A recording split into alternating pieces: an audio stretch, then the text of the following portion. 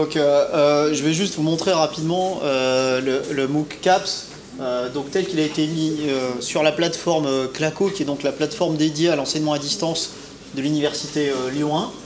Euh, donc, il n'est pas encore ouvert. Il ouvrira donc après la fin du projet, qui est donc en août, et donc dans la foulée d'ici la fin de l'année, on va dire. Je vais vous montrer un petit peu à quoi ressemble euh, le MOOC tel qu'il est actuellement sur la plateforme, sachant qu'il y a encore quelques petits éléments manquants et vous pourrez, aurez l'occasion après de pouvoir venir essayer euh, quelques exercices euh, juste après. Donc la page d'accueil ressemble à ça. Les inscriptions sont ouvertes.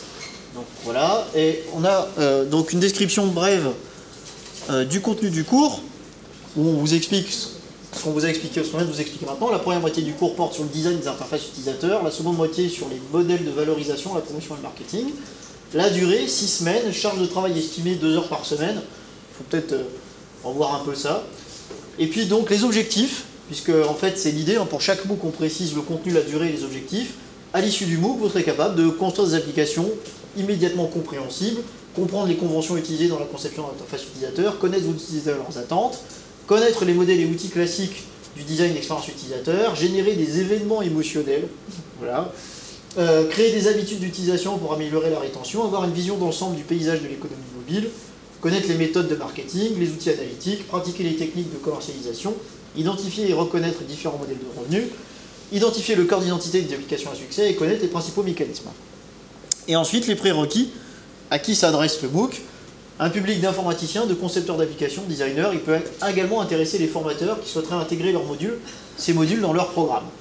Il n'est pas nécessaire de connaître la programmation, il n'y a pas de prérequis académiques. En fait, euh, c'est euh, euh, tout est, c'est un cours qui est self-contained, comme on dit, c'est-à-dire que tout, tout, tout, tout est dans le cours lui-même. Alors, ça c'est la page d'introduction, et puis ici en fait on a autant de volets qui correspondent aux différentes, aux différentes parties. Donc on a les deux parties, on a la conception d'application et la valorisation d'application. La partie conception d'application c'est celle qui concerne le design, valorisation d'application c'est celle qui concerne marketing et business. Et donc on a par exemple au sein de conception d'application les trois modules ergonomie, expérience utilisateur et design émotionnel. Et donc pour avoir accès au contenu, on clique ici sur ergonomie avec connaître les spécificités des machines mobiles. Alors vous voyez, quand je vous disais que c'était pas tout à fait fini, là, une vidéo qu'on a mis en contenu qui a été retirée. Bon, ça arrive malheureusement quand on utilise des ressources externes. Euh, voilà le type donc, de, de- de- de- suivi de cours qu'on vous propose.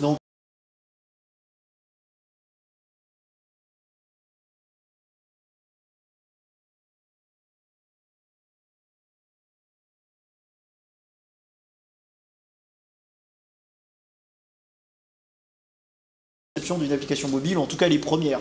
Et Steve Jobs, quand il a présenté l'iPhone, en janvier 2007, euh, c'était assez clair euh, tout de suite dans cette présentation. Il a tout de suite mis en avant ce que ça allait apporter. Et donc, on a mis, on va, du coup remettre, trouver une autre source. Cette vidéo est visible ici. Et après, on vous pose quelques questions. Quelles sont les spécificités de l'interface d'une application mobile? En quoi est-elle différente d'une application classique? Répondez et commandez sur le forum de discussion. Donc, le forum de discussion sera peuplé par, bien entendu, les gens qui suivent le MOOC, mais aussi les animateurs, les gens qui animeront euh, le, MOOC et qui euh, feront l'évaluation. Donc après, on a le premier cours, introduction au design d'application. Donc euh, bah, c'est un PDF à télécharger. Donc on peut regarder rapidement. Voilà. Donc bah, ça c'est ça c'est le contenu du cours. Donc ça c'est un cours classique, on va dire. Alors là, il est en anglais, effectivement. On, mettra la version française euh, d'ici euh, le lancement du cours, parce que comme euh, Frédéric vous l'a expliqué, le, MOOC VET for Apps a été rédigé en quatre langues. Donc il y a quatre versions, anglais, français, slovène et grec. Voilà. On vous donne quelques ressources additionnelles. Donc pareil, on va en rajouter. Encore une fois, il n'est pas tout à fait terminé. Donc initiation au design d'application, qui n'a pas été faite par nous. C'est là une ressource additionnelle pour compléter en fait ce qu'il y a dans ce cours-là. Un deuxième cours, principe, outils et rôle du designer. Donc ça, c'est le rôle designer dans la chaîne de production. Quelques outils pour pratiquer le design de maquettes. On en a mis trois Balsamic, Just in Mind et Axure, qui sont ceux que nos intervenants en fait dans les formations classiques utilisent pour faire du design d'interface. Et puis donc à la fin du module, vous avez des exercices de difficulté croissante. Donc on commence par exemple avec un quiz. Répondez au quiz suivant. Donc c'est un quiz à choix multiples, d'accord? Et puis après, des études de cas. Donc l'idée c'est de mettre en application ce que vous avez vu dans les deux cours qui étaient juste avant. Télécharger sur le système de votre choix l'application page jaune, d'accord? Donc on vous donne les liens sur iOS, sur Android, même sur Windows Phone, d'accord, de l'application page jaune. Testez cette application, utilisez-la comme ça. Et puis ensuite, on vous dit, l'aide des outils proposés dans les ressources du cours, donc par exemple ceux qui sont ici, recréer le wireframe de cette application et déposer votre travail ici. Donc on a une zone de dépôt dans laquelle vous avez déposé le wireframe que vous avez créé pour l'application page jaune, pour voir si vous avez compris. Et comme on est dans le cadre d'un MOOC, et qu'a priori dans un MOOC, il y a le M veut dire massif, c'est-à-dire qu'il y a beaucoup d'étudiants qui suivent en même temps le cours, on fait de l'évaluation par les pairs. C'est-à-dire que c'est d'autres étudiants qui vont évaluer votre wireframe. Pourquoi? Parce que tout simplement, ce n'est pas à la portée d'une seule personne, ou de même quelques personnes qui animeraient le cours. Si on a plusieurs milliers de personnes en même temps, c'est impossible de faire une évaluation de 1000 projets par une seule personne. Donc ça, c'est déjà pour essayer de comprendre un petit peu comment on fait un wireframe en partant d'une application existante. Et puis ensuite, conception d'une maquette à l'aide de l'outil de votre choix. Donner le zoning. Alors le zoning, c'est l'organisation là où sont placés les différents éléments de l'interface, de l'écran d'accueil, une application de suivi météorologique. Donc on vous dit, voilà, imaginez une application qui permet de regarder la météo et donner l'écran d'accueil, c'est-à-dire à quoi ressemblerait l'écran d'accueil selon vous. Si votre cible, c'est des adultes, on pourrait spécifier un peu plus, hein, adultes entre 20 et 35 ans, euh, habitant en ville par exemple, je sais pas, hein, euh, et pour enfants. Deux exercices différents. Et puis, idem, on a une évaluation par les pairs. Donc là, la procédure n'est pas encore tout à fait euh, finalisée. Voilà en gros à quoi ressemble euh, le, MOOC. Donc je ne vais pas détailler tous les autres modules parce que vous aurez l'occasion de pouvoir euh, venir les voir par vous-même. Pour le côté business, ça ressemble à la même chose, c'est-à-dire qu'il y a du cours avec des documents additionnels et puis ensuite des exercices à appliquer pour mettre à l'épreuve, mettre en, comment dire, oui, pas mettre à l'épreuve, mais vérifier que les, les, concepts ont été, ont été acquis. Alors, au niveau du business, euh, très souvent, le ticket d'entrée, c'est vraiment maîtriser l'ensemble des, termes ou des abréviations. Donc, il y a aussi une part importante qui est donnée sur l'évaluation en termes de, QCM, simplement pour savoir si ces éléments-là, on va pouvoir euh, bien les avoir mémorisés, parce que ce n'est pas forcément euh, toujours simple pour, pour s'en rappeler.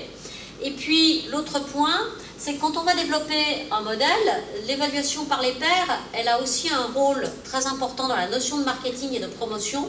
C'est que dans la manière dont vous allez concevoir votre application et définir la, monétisation, dans les échanges que vous allez avoir avec les personnes qui vont, être, qui vont devoir évaluer ce que vous, vous avez prévu, eh bien en fait, en plus, vous êtes en train de réfléchir et de travailler sur le côté promotionnel.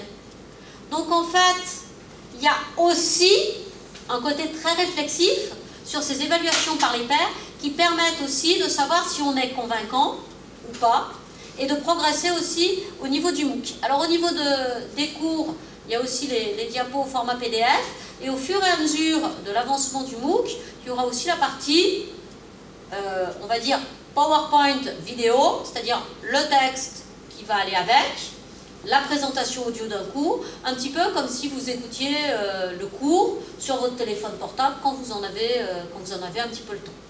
Donc par des séquences qui sont relativement courtes, de l'ordre de 5 à 10 minutes, donc euh, on recoupe, et ça, ça fait des choses qui peuvent s'écouter assez facilement. Alors là, je vous donne un exemple de questionnaire à choix multiples, qui est donc le premier questionnaire qu'on lance. on peut faire l'exercice un peu tous ensemble si vous voulez, après je pourrais vous montrer d'autres exercices donc encore une fois, c'est en anglais, ça sera traduit en français euh, lors de, la finalisation du, euh, MOOC. Donc on vous dit, voilà, considérez euh, la maquette suivante sur un téléphone mobile. À votre avis, quel est la meilleure, le meilleur emplacement sur l'écran du mobile pour mettre les boutons qui sont utilisés le plus fréquemment? Vous avez quatre réponses au choix. Donc la partie en haut à gauche, en haut à droite, au milieu de l'écran ou en bas. Qu'est-ce que vous penseriez alors? Qui penserait que ce serait en haut à gauche par exemple? Pas grand monde, c'est normal. En haut à droite, non plus. Au milieu de l'écran. D'accord Donc vous pensez tous que c'est en bas. Effectivement, c'est des chances que c'est la bonne réponse. Donc on va sélectionner. Hop, voilà. Alors les résultats, on les a qu'à la fin, donc effectivement, c'est bien ça. Deuxième exemple de question. Euh, donc cette figure, c'est un design avec des sidebars. Donc les sidebars, c'est des, barres avec des fonctions disponibles sur le côté de l'écran. Euh, pour deux applications très populaires sur iPad, il y a Yammer et Twitter.